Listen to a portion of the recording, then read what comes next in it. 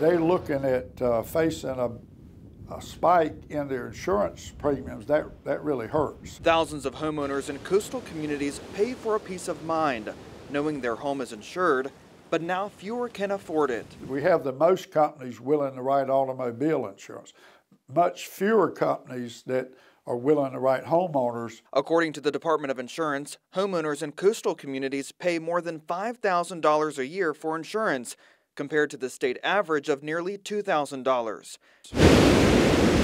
The hurricanes play a, a, big part in it too. A request this year by the NC Rate Bureau, essentially a non government agency representing insurance companies, would nearly double premiums in these coastal counties, while most inland areas would get a smaller increase. They have rating areas for all over the state. Sometimes it's down to certain zip codes.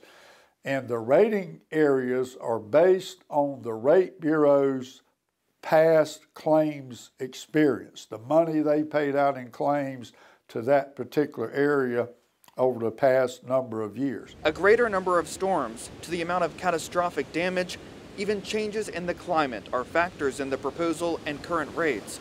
North Carolina Insurance Commissioner Mike Causey says he's there to put a stop to it. When I said no, I based that on state law.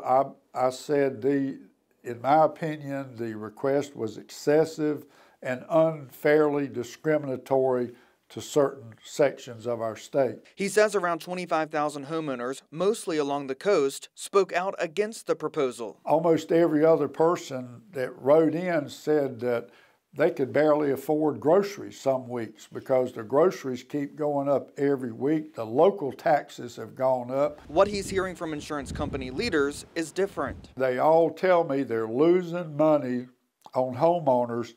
They're paying out for every dollar they bring in in premiums, they're paying out a dollar and 15 cents to a dollar and 30 or 40 cents on claims.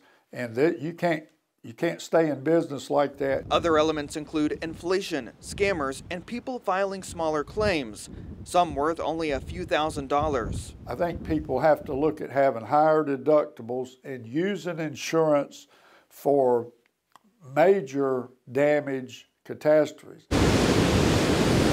Like during Hurricane Florence in 2018, there were 23 disaster counties in our state Commissioner Causey says 88,000 homeowners lost everything because they didn't have flood insurance.